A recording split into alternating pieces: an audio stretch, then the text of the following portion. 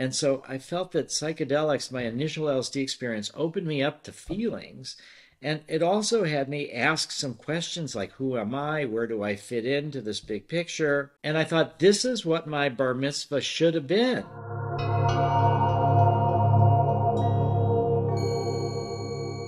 So, what was my life like before I experienced psychedelics? You know, so I was born in 53. I experienced psychedelics um, at age 17 in college. Before that, I actually, for most of that period of time, had believed the propaganda against psychedelics. And I believed that if you took LSD more than, I think it was six times, you were certifiably insane.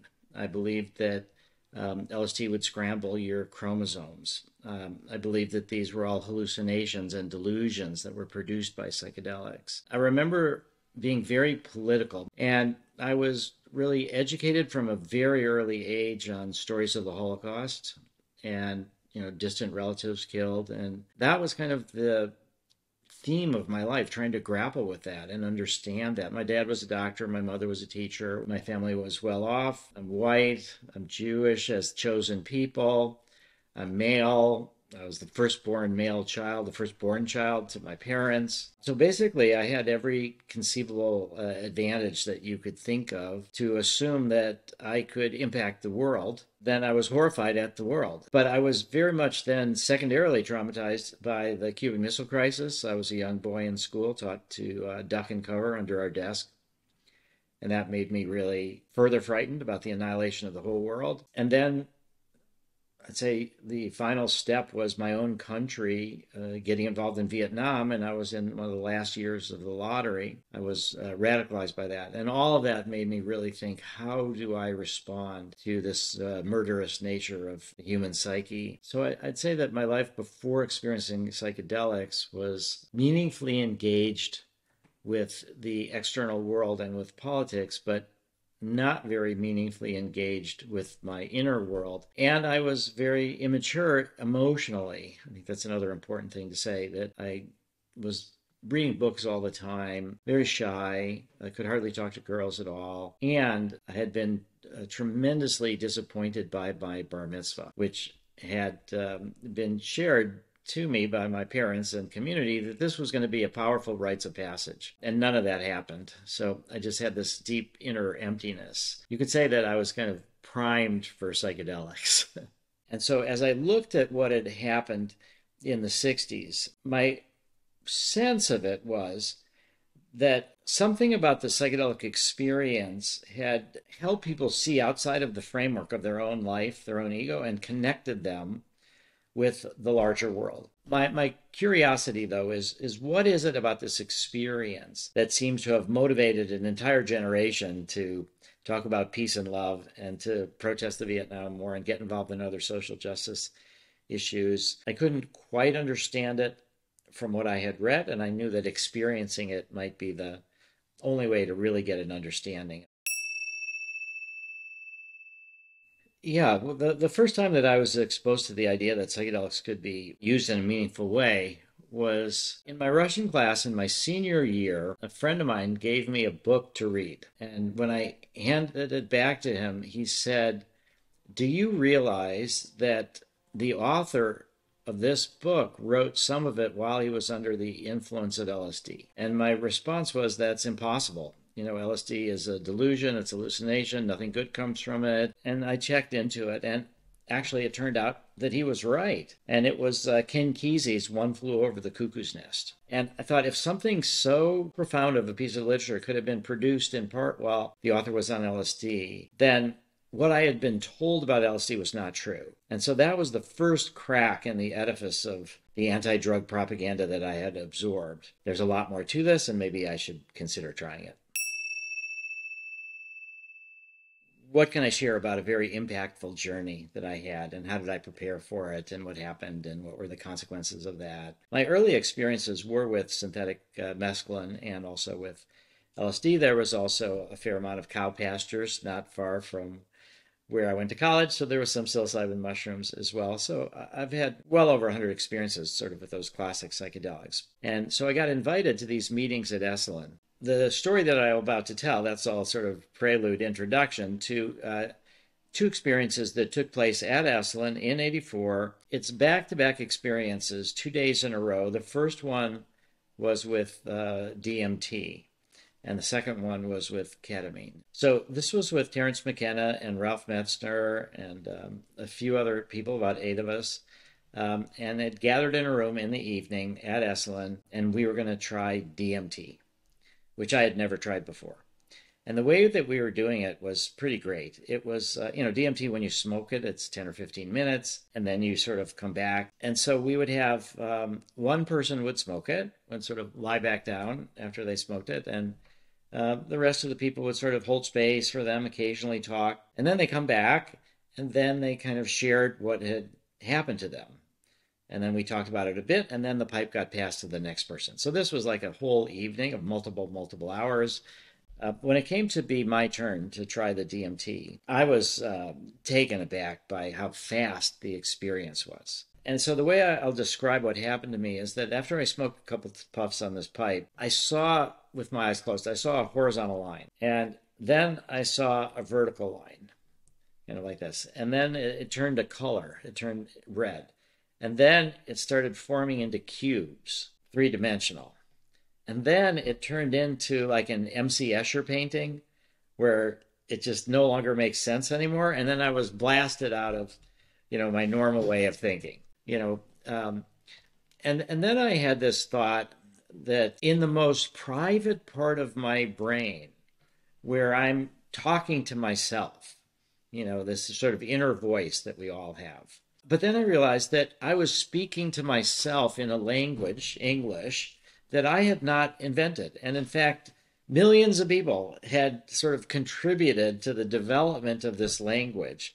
And so, even though this was my innermost private space, it was filled with this connection with millions and millions of people that have gone before. And then I felt that that was part of not just these um, this historical English speakers, but uh, but even every part of my body had been evolved, and I, I just felt like then I was part of this vast universe, uh, you know. So I'm thinking all of that, and I'm thinking how beautiful it is that I'm part of everything, and that there's been this incredible evolution. And but then I had this very disturbing thought that kind of sunk me like a stone, and the thought was that if I'm part of everything and everything is part of me, then Hitler is also a part of me he's not just the outside embodiment of evil, which is what I grew grew up believing. You know, I was a good person. This evil was all out there. And that thought was just so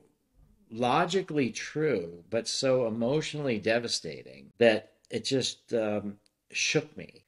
And so when I came back from my experience and to share that with the other people, you know, I was kind of shaking and I was um, feeling very disturbed um, and it was difficult to, to share and difficult to sit with. And it, and it was good because here we were also going to try to battle with the DEA that was going to try to criminalize MDMA, which had enormous therapeutic potential. And so if I had demonized the DEA, that they're all bad and I'm all good, you know, it would have been difficult for me to um, approach some of these DEA people as humans and try to find ways to communicate with them. So, as I was still struggling with that in order to try to integrate that, um, the very next night, um, we had an opportunity and, and people decided to do ketamine. The way in which we did that again was um, group of people, you know, lying down. We all tried to do the ketamine at the same time, more or less, so that then when we came back, you know, we could kind of talk about it. We didn't do it one by one the way that we did it the night before. So under the influence of ketamine, I was very uh, not completely surprised, but sh- but um, very terrified to have been transmitted to a situation where Hitler was giving a speech, like the Nuremberg rallies, something like that, where where there's you know he's ranting and raving, and there's hundred thousand people, and and so I was hovering above and behind him so the ketamine is called a dissociative anesthetic. So it gave me this sense that I was there but not there. And I was having to think about how do I get in his head so that he would not want to kill so many people. And so while I'm thinking that, I'm getting more and more panicked, more and more frightened. And so I had this idea that if I take deep breaths, I might be able to not be overwhelmed with fear. So I did start breathing, and that did help me. And then I was able to more clearly take a look at what was going on with Hitler and this rally. And I had never thought about it before in this way, but I saw him do the Heil Hitler salute. Then I saw everybody else um, doing it back to him. And then he would do it again. And then they would all do it back to him. And I got this sense of this um, energy ball almost, that he was pushing it out to them, this Heil Hitler salute. And then it would be from the one to the many and they would concentrate all their energy and push it back to him and sort of give away their power to him.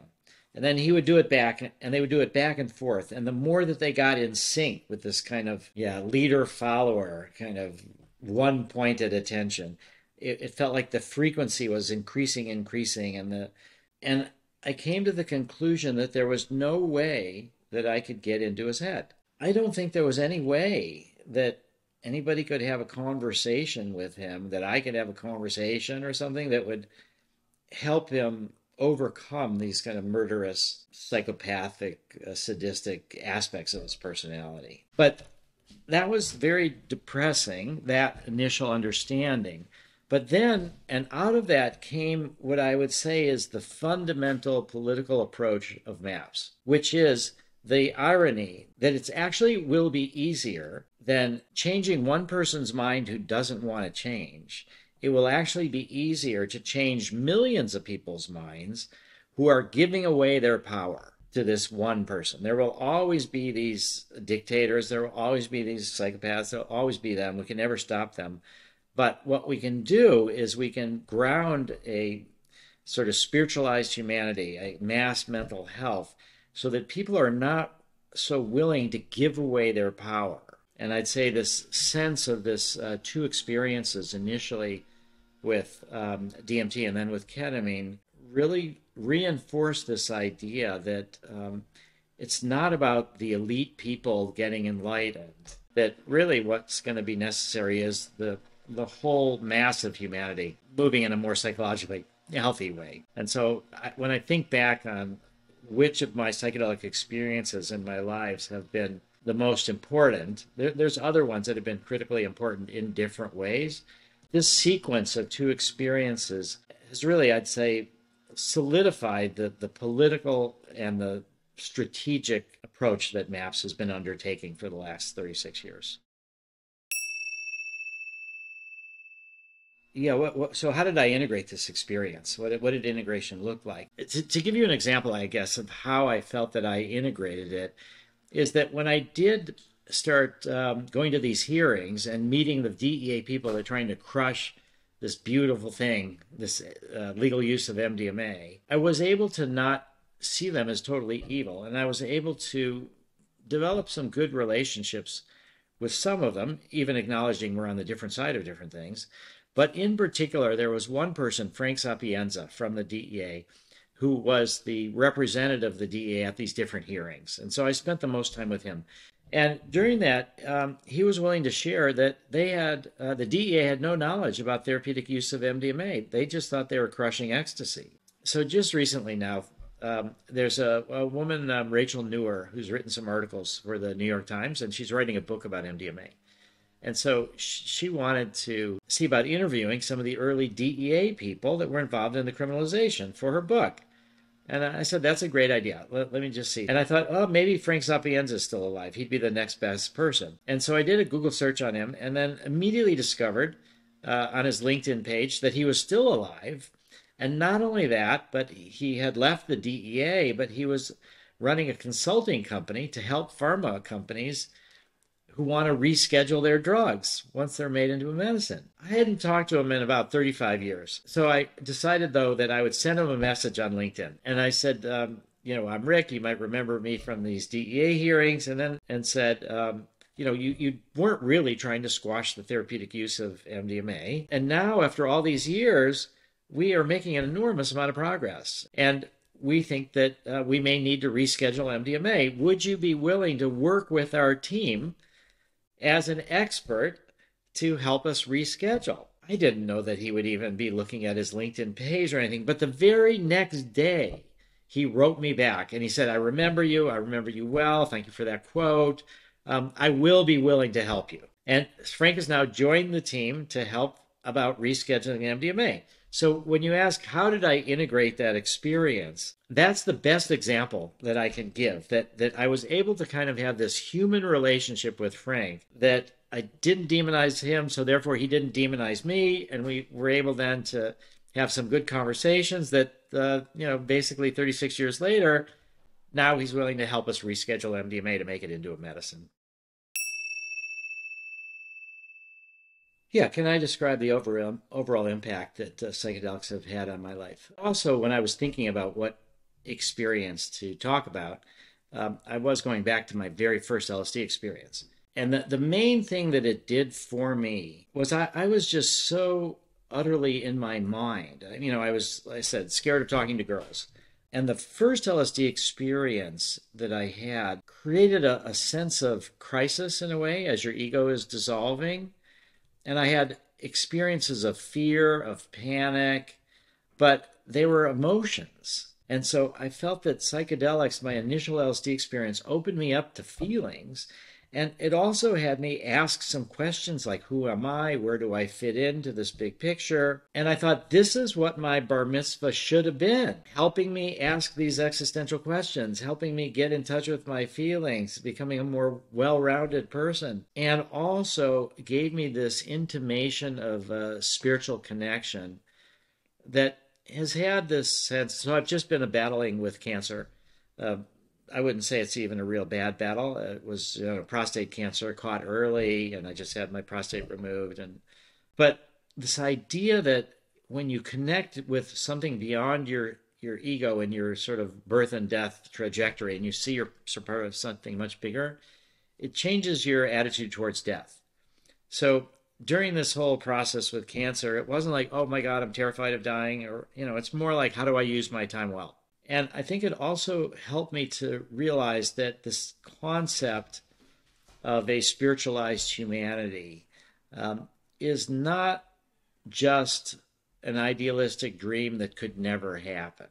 You know, and as I was first doing psychedelics, what I want to also just share is that in the background was um, the U.S. trying to go to the moon and actually landing on the moon. So the whole of humanity is sort of going through this kind of process of, of reaching to the moon, of, of seeing the earth from space, of seeing how we are part of one thing. Not from psychedelics, but through science and through this just understanding of the world, that that is kind of mirroring what a lot of people have experienced in psychedelic states, and it kind of reaffirms it. So it, it helped me, I think, fundamentally to realize that this transformation of who we think we are. There, there was one moment at Esalen, um, and this was uh, actually um, later in the 90s, but I, I, was just at the edge of the cliff, and there was a um, fence there so you don't fall off the cliff. And I just had this thought what would it be like if my life wasn't centered on psychedelics? And, and I felt this vortex of uncertainty like pulling me over the edge of the cliff like I would I would be lost. I would be completely lost if I had no anchor in psychedelics. Now I would have figured out something else. I, you know, who knows? But uh, I just felt like that this was such a core aspect of who I had become ever since I was 18 that um, I, I don't know who I would be without it. So what that sort of finally sums up is that psychedelics have provided me with um, with my own north star and that has guided my life ever since the very first time I took LSD. And that was 50 years ago. yeah, what kind of resource would I recommend to somebody starting their journey? I think the resource that was the um, most useful to me, and this may not be as useful to everybody else, but it was Stan Grof's book, Realms of the Human Unconscious observations from LSD research. And just to show you how lucky I was, you know, I went to the guidance counselor at college in 1972 when I was 18 and I said, help me with my psychedelic experiences. And you know, you do that today, the guidance counselor calls the police and kicks you out of school. But at that point, the guy took me seriously, and he gave me a copy of this book to read. And um, as it turned out, the book wasn't published for three more years. He had a manuscript copy directly from Stan.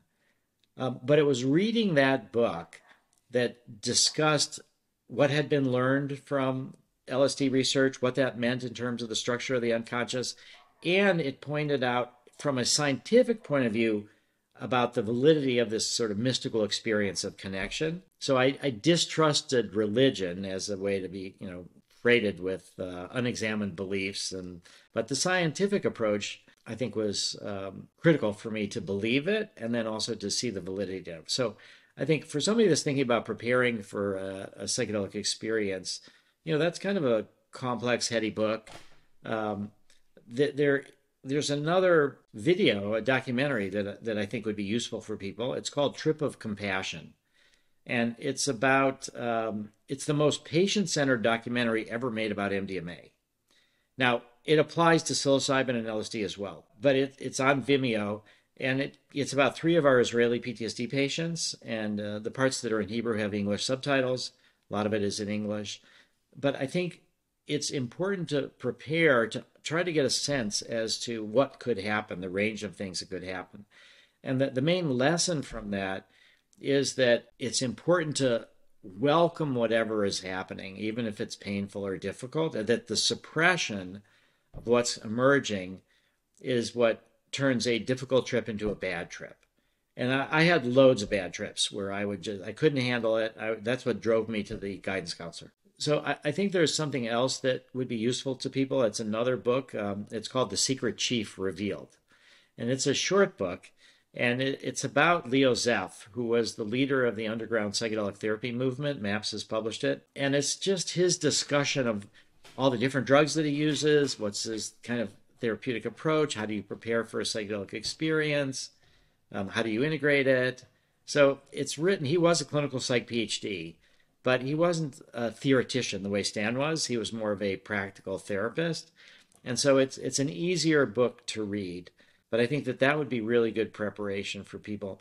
And then the final thing that I would say is that if you can find people that have had experiences, talk to them and and see what they say because you will learn a lot from other people. And then the I guess that isn't the final thing I'll say. The other thing I'll, I'll say is that because of prohibition, people have to beware because you know there have people died from taking ecstasy laced with fentanyl. It's a difficult thing to get pure drugs, and so I think be wary of whatever it is you're going to try and try to make sure that it is what it what you think it is. That, that's why I think there's a lot of value in mushrooms. You look at the mushrooms and people can yeah, it's unlikely people are going to put new things into the mushrooms. There is one DEA licensed lab in the country, in the US, that does drug checking for anonymous samples. It's called Drug Detection Lab.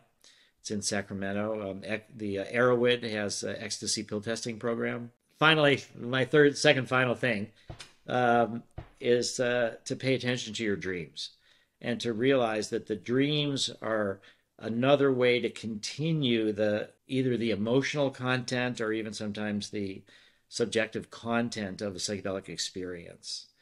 Um, so I think if you're going to be preparing for a psychedelic experience, it's really good to start preparing to remember your dreams. But but I do think that um, people have this natural process going on, and if you just connect to your own dreams, that will be a real good anchoring process as you move into a psychedelic experience.